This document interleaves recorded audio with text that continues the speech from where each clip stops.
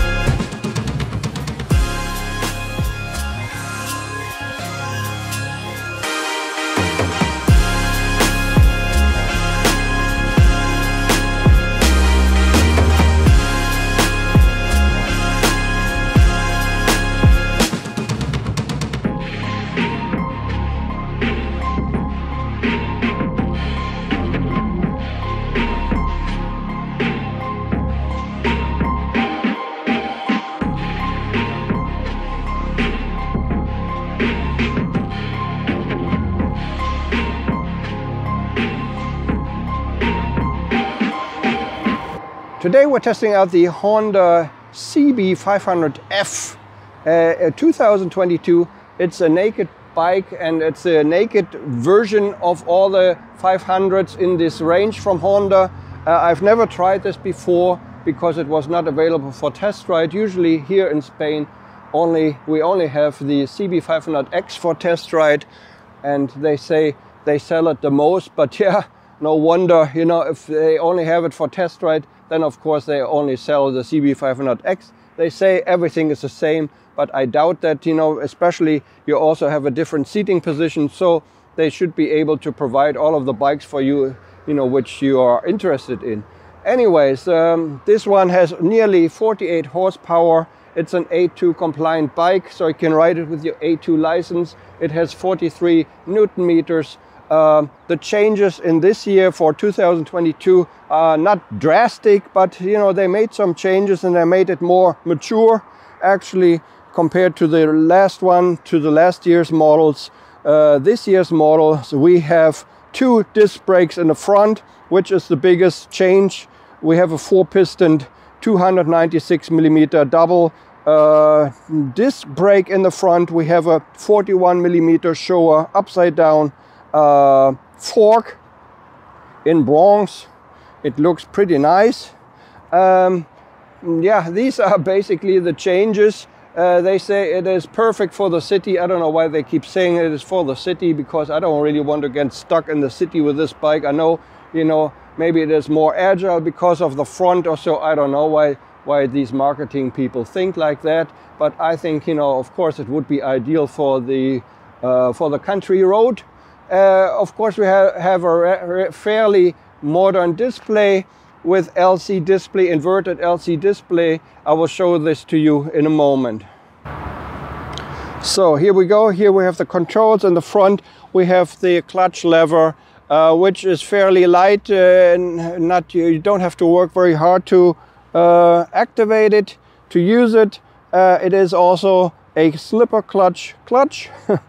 And uh, we have a passing light uh, switch here in the front, which is very nice and convenient. We have high beam, low beam switch. We have the horn. We have the left hand and right hand signal right here. Um, all, all of the quality, all of these uh, plastics, they really feel like Honda quality. So not really cheap, really good Honda quality plastics. On the right hand side, we have the on off switch, emergency switch, kill switch they call it. Also we have the emergency uh, or hazard light switch here and we have the starter switch.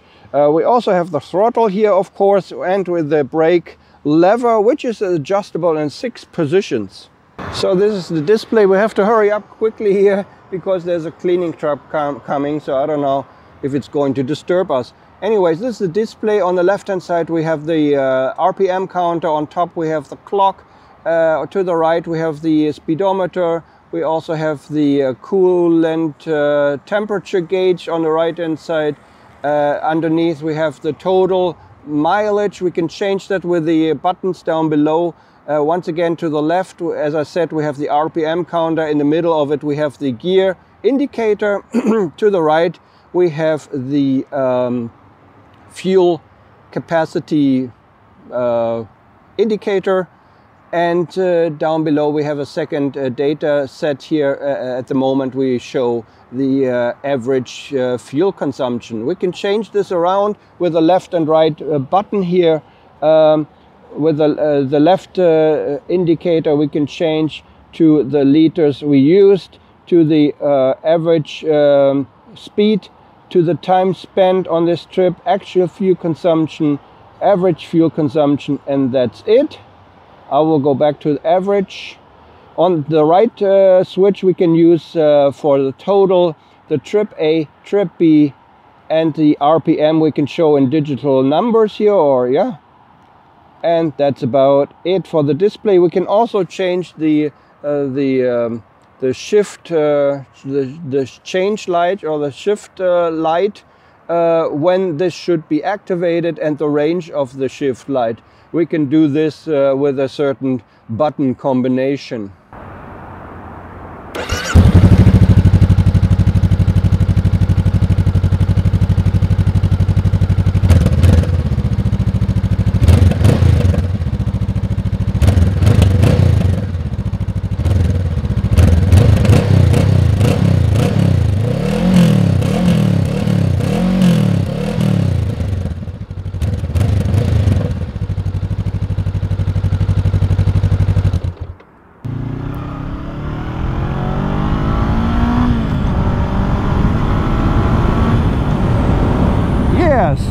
Uh, welcome back to BenalRida. We're in the uh, riding video here now, in the in the riding section of the video. And we're on the Honda CB500F naked bike, street fighter, whatever they call it. And it is also a joy to ride. As you might know on my channel, I test all kinds of bikes and scooters. I don't have very many bikes that I don't like, many scooters that I don't like. There are some, very few. But usually when I get on a Honda, there's absolutely nothing really wrong with it. Uh, they're just uh, joy to ride. They're easy to handle. Everything clicks into place, as I say.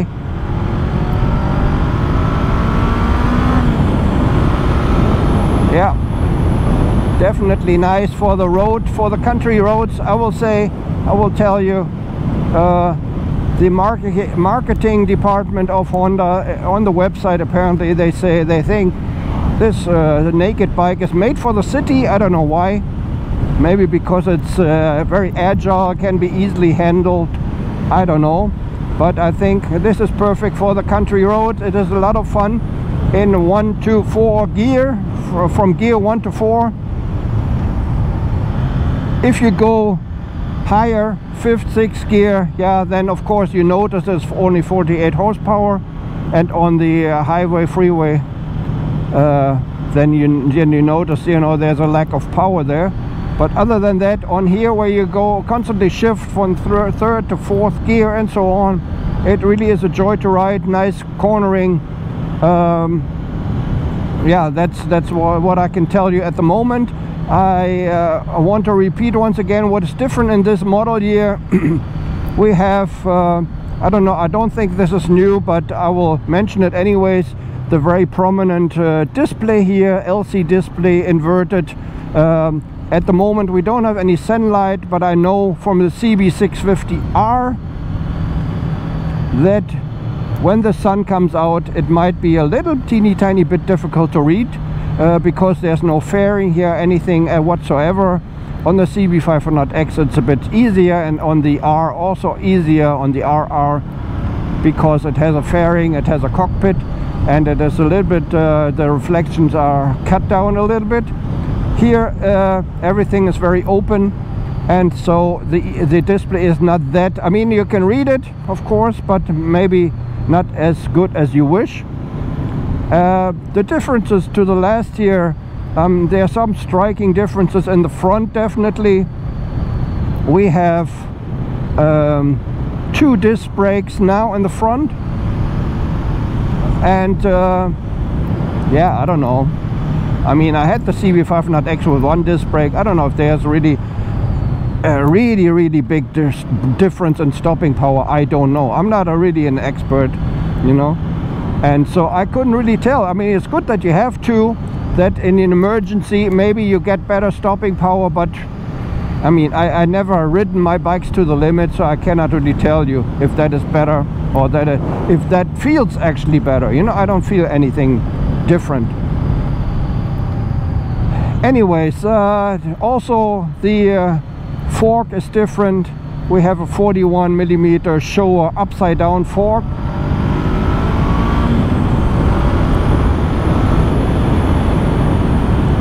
and uh, that is different to the previous model year.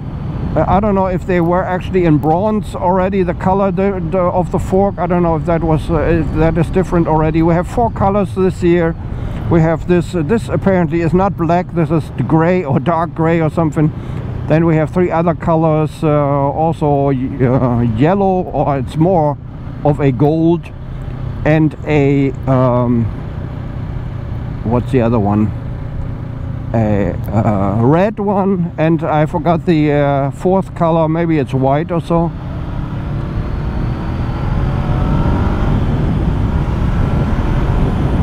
Yeah. It is definitely nice for this for the country road here. I do like it. The seat is actually quite comfortable I'd say. Quite comfortable okay suspension. Oh yeah yeah yeah. It is uh, hard but not that hard. I mean it's fairly sporty I'd say. Um, nice cornering. And uh, the gear shift is also very easy easy for beginners riders. Everything is easy to uh, activate to use and so I'd say oh, although you know maybe some people who are not beginners would also buy this you know because they don't need more power or whatever but still I think it's a very very good bike for beginners uh, because it's e very easily easy to handle and also the power uh, um, you know how it actually gives out uh, the power output is fairly li linear. There's no surprises in it. So as a beginner you, you you don't get scared you know? Yeah. Um, yeah I mean what can I say? The mirrors are actually a bit actually too much of myself I can see in the mirror. The mirrors are fine typical Honda standard good quality but maybe they should have made these stems a little bit longer so you can see a bit more from the uh, surroundings. Uh, yeah this is one thing a little teeny tiny thing I should complain about. Other than that everything is fine. Seating position seat height also uh, not uh, not intimidating at all. 785 millimeters so uh, I'm 175 I can almost get my flat foot both uh, of my feet you know on it. Almost not quite but almost. And so that's pretty amazing. Uh, it's very hard to find you know bikes nowadays with this low seat height. Also Kawasaki is actually raising their seat heights. So this is definitely a plus to to make it more approachable to everybody and especially also yeah, of course younger riders maybe uh, A2 riders, beginners who are not very confident yet.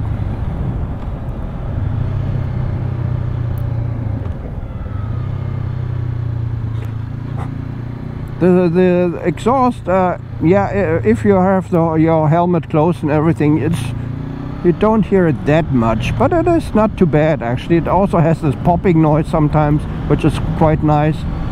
I do like it as well.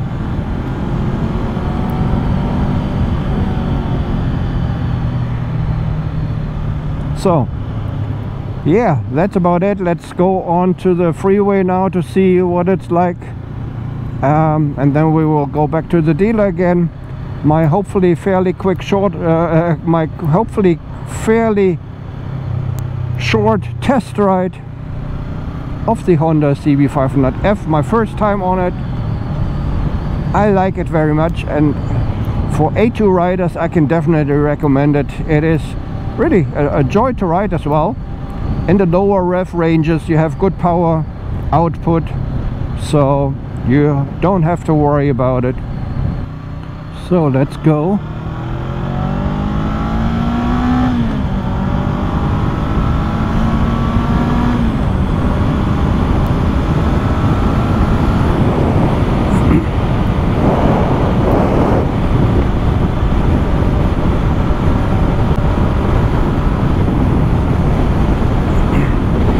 yeah we have a naked bike feeling here all of the wind which comes at you hits you on the chest naturally. So no surprises there. There's no deflection of the little display. So you get all the all the force of the wind onto your body. If you know about this it's fine. You know it's a naked bike so I will not complain about this. Um, what I noticed so far already is when you are in fifth or sixth gear you notice that there's a diff uh, that there's a lack of power. But I think that's also quite natural for a 48 horsepower bike. Usually you know they lack the power in the higher gears uh, and at higher speeds. So nothing really to complain about there. I just wanted to let you know about this